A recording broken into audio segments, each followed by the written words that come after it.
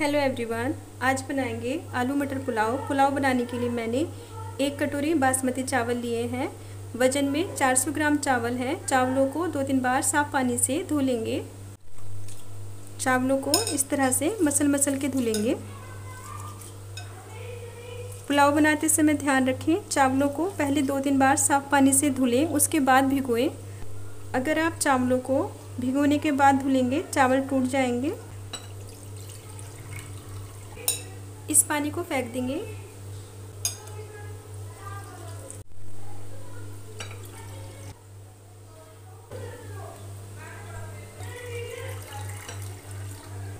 पानी को फेंक देंगे। चावल 15 मिनट के लिए भिगो के रख देंगे। डेढ़ गिलास पानी लिया है मैंने। पानी रूम टेम्परेचर पे लेंगे। 170 ग्राम टमाटर साफ़ पानी से धो के बारीक काट लेंगे। एक से डेढ़ इंच अदरक का टुकड़ा साफ़ पानी से धो के छील लेंगे, बारीक काट लेंगे या कद्दूकस कर लेंगे। दो हरी मिर्च बारीक काट लेंगे या बीच में से चीर लेंगे। 100 ग्राम प्याज प्याज को छील के लंबाई में काट लेंगे। 200 ग्राम फ्रेश मटर के दाने, मटर के दानों को दो तीन बार साफ़ पानी से धो लेंगे। 270 ग्राम कच्चे आलू, आलुओं को साफ़ पानी से धो के छील के काट लेंगे। अगर आप पुलाव बनाने से थोड़ी देर पहले आलू काट के रख रहे हैं, आलुओं को पानी में डिप करके रखें। पानी में डिप करने से आलू काले नहीं पड़ेंगे। 10 मिनट हो गए हैं, चावलों को भिगे हुए। कुकर को मीडियम फ्लेम पे गरम कर लेंगे। इसमें डालेंगे एक बड़ा चम्मच सरसों का तेल। तेल को हल्का धुआँ निकलने तक गरम कर लेंगे। तेल में से हल्का धुआँ निकलने लगा है। गैस फ्लेम बंद कर देंगे और तेल को हल्का ठंडा होने देंगे। तेल हल्का ठंडा हो गया है, इसमें डालेंगे दो तीन तेज पत्ते डेढ़ से दो इंच दालचीनी का टुकड़ा, चार लौंग, दस पंद्रह दाने काली मिर्च के, दो बड़ी इलायची बड़ी इलायची को मैंने चाकू से इस तरह से बीच में से काट लिया है। एक चम्मच जीरा डालेंगे। जीरे को चटकने देंगे। जीरा चटक गया है। हरी मिर्ची, अदरक और प्याज डालेंगे। अदरक को मैंने कद्दूकस किया है। प्याज को भून लेंगे। बीच बीच में चलाते रहेंगे। गैस फ्लेम आप ज़रूरत अनुसार रख सकते हैं। प्याज भुन गए हैं। प्याज का कलर चेंज हो गया है। इसमें डालेंगे कटे हुए टमाटर।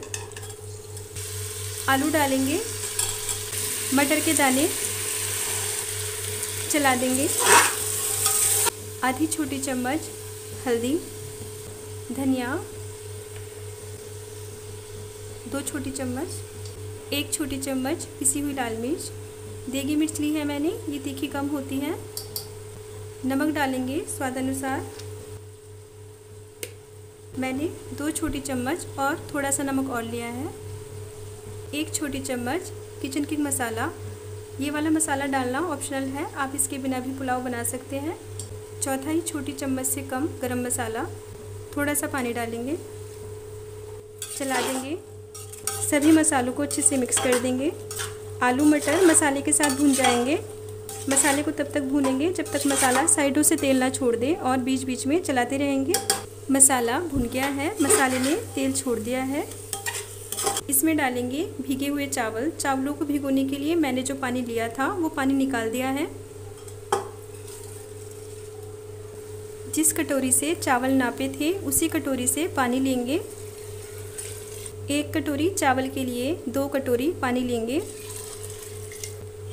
हल्के हाथ से चलाएँगे। भीगे हुए चावल बहुत जल्दी टूट जाते हैं, इसीलिए हल्के हाथ से चलाएँ। कुकर का ढक्कन बंद करेंगे और फुल फ्लेम पे दो सीटी आने तक पकाएँगे। कुकर में दो सीटी आने के बाद गैस फ्लेम बंद कर दी थी मैंने। कुकर का प्रेशर अपने आप रिलीज़ होने देंगे, उसके बाद कुकर खोलेंगे। कुकर का प्रेशर रिलीज़ होने के 15 मिनट बाद कुकर खोल रही हूँ मैं।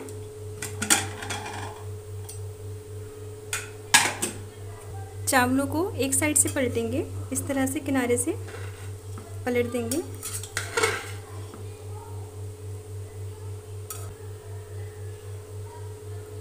चावल अच्छे से पक गए हैं। आलू मटर पुलाव बन गया है। अगर आपको आलू मटर पुलाव की ये रेसिपी पसंद आई है, वीडियो को लाइक शेयर और चैनल को सब्सक्राइब कीजिए। पुलाव को मैंने खीरे के रायते के साथ सर्व किया है। खीरे के रायते की रेसिपी आपको मेरे चैनल पे मिल जाएगी।